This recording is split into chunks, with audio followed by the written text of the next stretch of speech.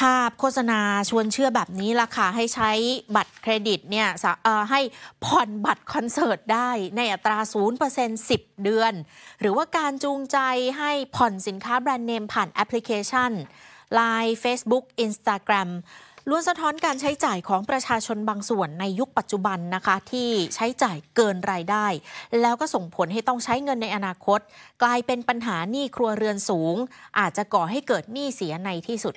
ผู้เชี่ยวชาญด้านการวิเคราะห์ข้อมูลสื่อสังคมออนไลน์ที่ทำงานวิจัยเกี่ยวกับพฤติกรรมของคนในสังคมไทยยุคใหม่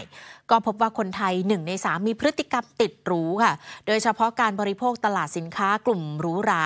ที่เติบโตมากขึ้น เพราะว่าประชาชนต้องการให้รางวัลชีวิต การเฉลิมฉลองหรือว่าอวดกันในโซเชียลมีเดียค่ะ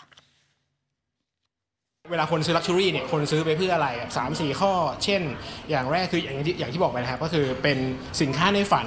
เป็นของที่เขาเห็นในโฆษณาเห็นเห็นมาตั้งแต่เด็กได้ยินชื่อมาตั้งแต่เด็กว่าอันี่คือของดีของแพงมีแล้ว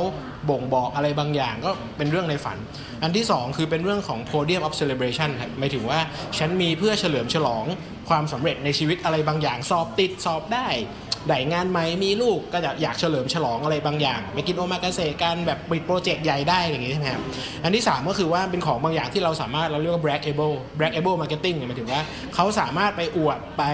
proud กับผู้คนบนโซเชียลได้ว่าเขามีสิ่งนี้ ทีนี้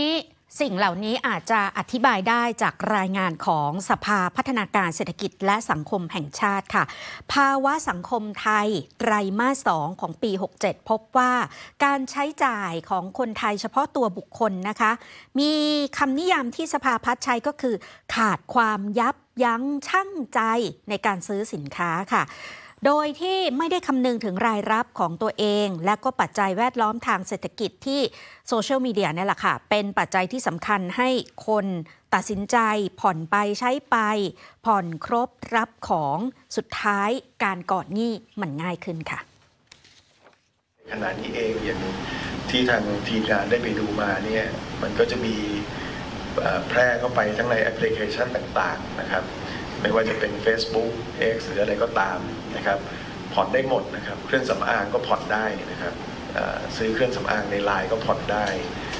ผ่อนอาร์ตทอยผ่านอินสตาแกรมก็ทำได้นะครับ เพราะฉะนั้นเนี่ยอันนี้มันมันต้องดูแลในแง่ของ ecosystem ตัวนี้ด้วยนะครับ แล้วก็คงต้องต้องสร้างทัศนคติให้พี่น้องประชาชนนะครับ ในเรื่องของการเป็นหนี้เนี่ยโดยเฉพาะถ้า ต้องดูรายได้ของตัวเองนะครับ ต้องมี financial literacy ที่เพียงพอนะครับ อืม ทีนี้ค่ะ ในรายงานฉบับเดียวกันเนี่ยยังรายงานถึงภาวะหนี้สินครัวเรือนและภาคธุรกิจว่าอยู่ในระดับสูงนะคะ สัดส่วนหนี้ครัวเรือนต่อ GDP ในไตรมาสหนึ่งขยายตัวร้อยละ 2.5 ค่ะ คิดเป็นสัดส่วนต่อ GDP อยู่ที่ร้อยละ 90.8 หนี้เพื่อการอุปโภคบริโภคที่ไม่ก่อให้เกิดรายได้ของธนาคารพาณิชย์หรือ NPL เพิ่มขึ้นอยู่ที่ 163,000 ล้านบาทนะคะ โดยเฉพาะในกลุ่มบัตรเครดิต มีสินเชื่อที่เป็นหนี้เสียหนี้คงค้างชำระ 1-3 เดือนเพิ่มมากขึ้นอย่างชัดเจนในไตรมาสที่ 1 ของปี 67 อยู่ที่ร้อยละ 4.13 ค่ะ